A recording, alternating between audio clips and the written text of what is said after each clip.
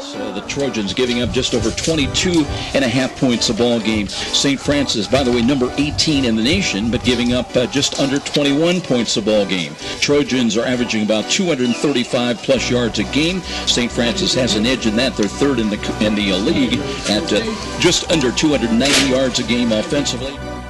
Play clock now down at eight. And with seven. Again, uh, Taylor shows blitz. Here's Miller, throws over the middle and dumps it off. Here's a spin move by Corey Appenzeller, Cody Appenzeller, and works his way across the 35 up to about the 38-yard line. Nice move by the little guy, and as a former little guy. Sets again out of the gun. Nicodemus flanked to his right. Short drop. He looks, checks off, flush to his right. He runs open field to the 35 and down to the 30 yard line. And Josh Miller again with that double threat. Not there with the passing game. He just uses his legs and rumbles for the first down. 29 on the clock. We have no score. Here's Miller, rolls to his right, screens back to the left side. Got a block, and here's a run. And Nicodemus running for the first down inside the 20, down to the 18-yard line. By the way, it's Aaron Harris, not Nicodemus. Aaron Harris checked in, and that is going to be his fourth catch. High snap, bottle ball. Miller's got it now. Rolls, and did he get it into the end zone? Touchdown. That's doing it the hard way. Josh Miller getting his first rushing touchdown of the year with a high bobbled snap. And uh, caught it with no fumble and uh, just took it himself. And I don't know if that was the call, the design play, but it worked and a one yard touchdown run. This time he is lined up offset behind him. And here comes the rush. Fiddler looking, and he's met at the pass. Did not get back to the line of scrimmage. Dropped right at the 36-yard line, a loss of one, so it'll be fourth down and three. And looks like they're going to bring Streets in to punt the ball away. Working from right to left now. Play action fake. Jalen Campbell's in there. A throw with a minute. And a great, great throw right on the money to Aaron Knight as he takes it and runs it down to the 20-yard line. Now motion by Kelsall left to right behind the line of scrimmage. And Campbell runs, looking to turn the corner at the 20 to the 15 to the 10 to the 5. High stepping it. He's knocked out of bounds inside the 5 at about the 3-yard line.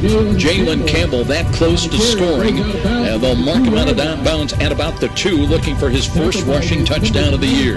It's a uh, Delta formation.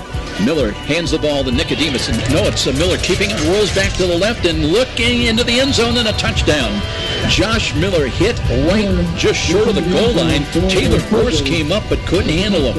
And Miller officially from a yard out, his second one-yard touchdown, uh, rushing touchdown of the game, and that'll make it 13 nothing USF. Waits out of the shotgun.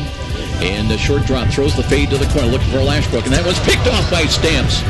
And he's got it at the one, so it'll be an interception. That one, I don't know, it just died up there. I don't know if the wind caught it, but Stamps has got. He had three interceptions last year against Taylor, and he had one last week and one today. So Kory Stamps picking his time Waiting for the snap, little movement, and he fumbled the ball, scrambled for it. He's got it. That's a loss back inside the 35 at the 34. And now they've got two protectors in there uh, for Keith as he looks. Play action fake. The rush is coming, and this time he did not get rid of it. He's buried back at the 30. Well, give it at the 40, but take your pick. As uh, Keith Harris was there, but he had help with Bruce and.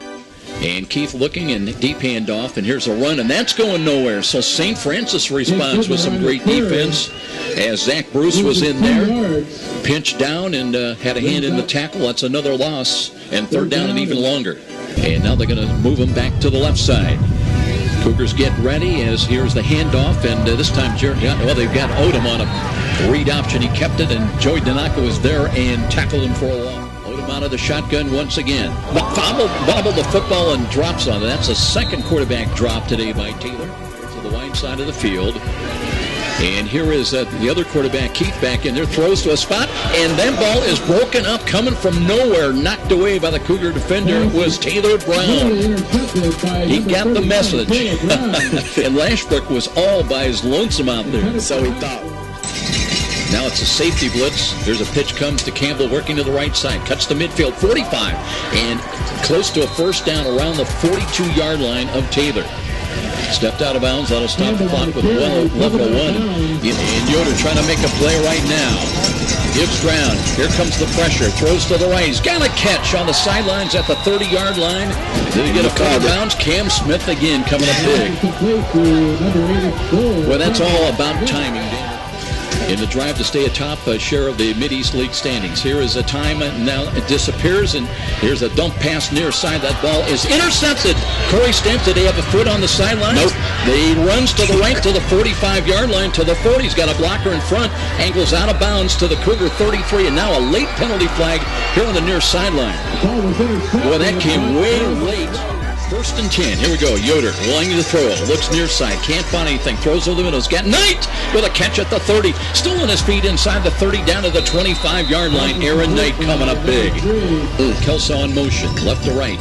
And they'll pitch the ball. Here's Campbell looking to cut it up inside the 20 to the 15 to the 10 and a touchdown. Wow. Jalen Campbell with an explosive Wow. burst of speed. Play designed to sweep right. He runs 21 yards to dirt and a critical touchdown run by Jalen Campbell at the 224 mark to make it 20 to 12. Oh, definitely, definitely. And and then I'm thinking, how how is this going to be? Campbell clearly can run the ball.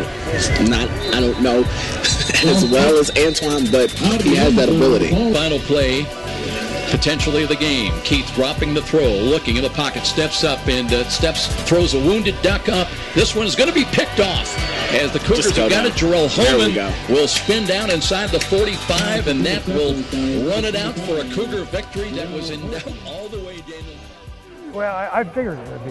It's a Yeah. really good. I mean, they're they're they got kids. They're uh, class kids. You know, the kids of character. They play hard, and uh, we had to do the same today, which we did. Overcame a lot. You know, I'm not going to go into it, but you know what I'm talking about. But we did. You know, we take points off the board. Great job, obviously, by your defense. I mean, they Yeah, just, it really stepped up today and did a great job. Um, Miller came out hot, knee t- or ankle tightened up. So, you know, we're back in the same mode. Hopefully, we'll get him back next week and let him go as long as he can. And Dave does a good job uh, coming in.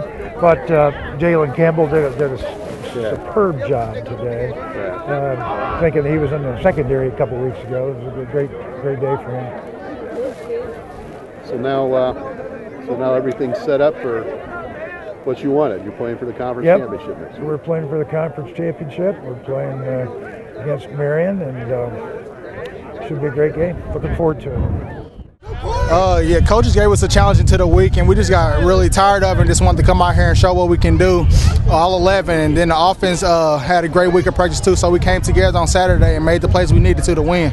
Two interceptions today. That first one was huge down there by the goal line. Just talk about that interception. I just read my keys and made a play on the uh, ball. Thank God it was kind of windy, so it was kind of easy for me. So, but it's part of the game. And how, how much did that change uh, your play on the field this win today? It's crazy. Uh, we know the ball was gonna hang in the air a lot, so we just gonna, we just got to judge and get a good judge on it and just make the play that we're supposed to. And then that second interception. Can you just take us through that play? Uh, we're in uh, cover two, soft cover two, or hard cover two, one of them. And uh, I was just reading my uh, number two, and he wheeled out. And then uh, the one, I guess it was like a misread on the one and two on the offense for Taylor, and they ran into each other, and I just pushed them into each other, and he missed it, and it came down right in my hands. felt good, you know, like you said, I'd wait for my chance, and when I did, it I tried to capitalize on it.